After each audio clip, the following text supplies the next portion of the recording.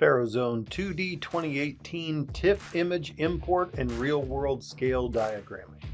From the Home tab, first select the Import command, then select the Scene TIFF command.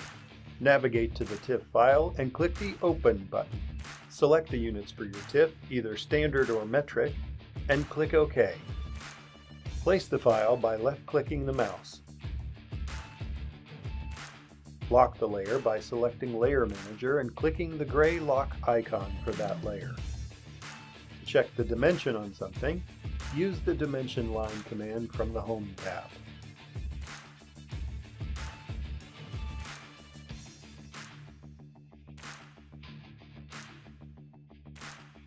To draw lines following a feature, simply click a line command from the Draw box. Here, we use the Continuous Line command.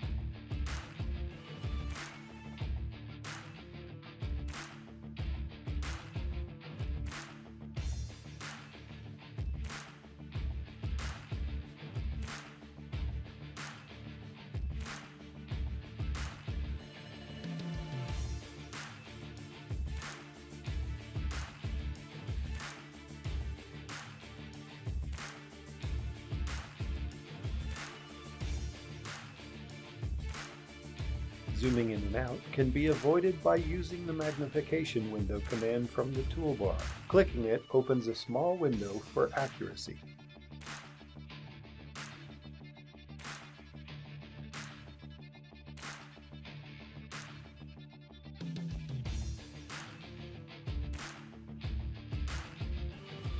Click it again to toggle the magnification window off. To create the center line, use the Draw Line command from the Draw Edit tab. Click the Line Type command from the Line toolbox. Select the Solid Dash option. It is possible to initially estimate the options, such as dash length and dash spacing.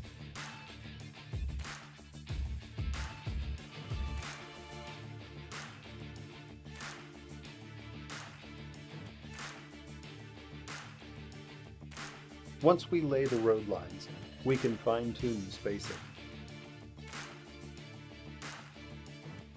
Now we need to make this center line yellow. Click the Color command in the toolbox. Select Yellow and click OK. The center line color is changed. Select the Thickness command and change the line to the proper thickness. Next, we can add some symbols by clicking the Symbols tab. We choose the Vehicles command and select a Chevy Tahoe to add to the scene. Go back to the crash library and choose the Transportation command. Grab a tractor from the Farm library. Let's finalize this diagram with a border. Go to the Powers Tool tab, select Forms, and select the Block Landscape form. Select the Symbols tab to switch back to the Crash library and choose a north arrow. Place, resize, and align it. Scale bars can be found under the Measurements tab.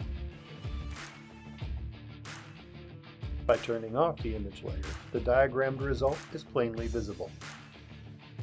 If the image layer is on, it will be visible and included when printing. You have seen how to import TIFF images and use tools in FARO Zone 2D 2018 to produce scale diagrams.